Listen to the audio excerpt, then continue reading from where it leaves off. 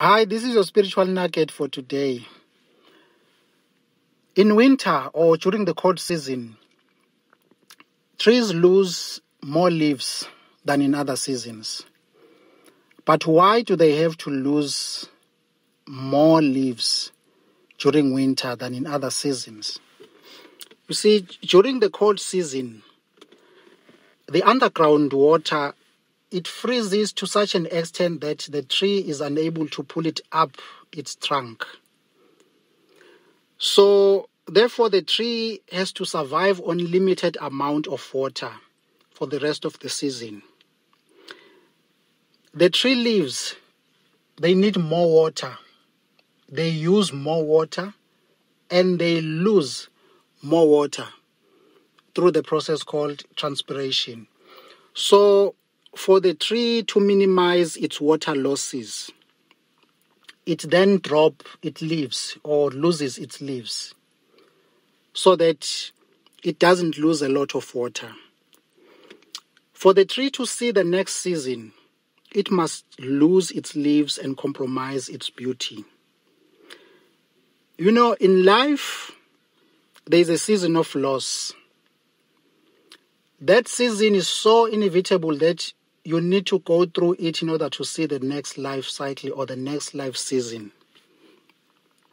Everyone has lost something in life, be it finances, assets, friends, parents, spouses, through death or divorce. Those are all painful losses that we suffer.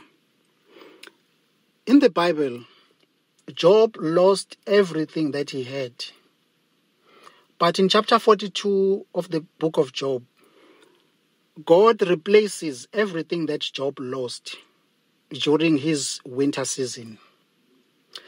And God did not only replace what Job had or what he lost, but he also gave him a double portion of everything that he lost. So if God doesn't replace your losses, in this life, you need to rest assured that He will replace your losses in the life to come or with eternal life. In the book of Matthew, chapter 10, verse 39, Jesus says, He who finds his life will lose it, and he who loses his life for my name's sake will find it in this verse, Jesus is not only referring to losing your life through death for his sake, but he is also referring to losing opportunities, networks, associations, friends, all those connections, fame that can make or put you in a better position to be a successful man or a successful person.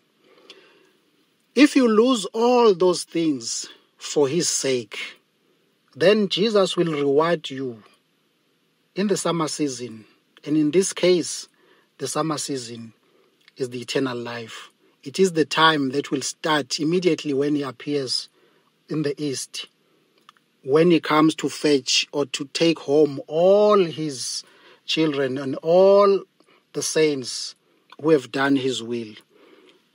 This is the Advent shofar, sounding the gospel trumpet to a sin stricken world.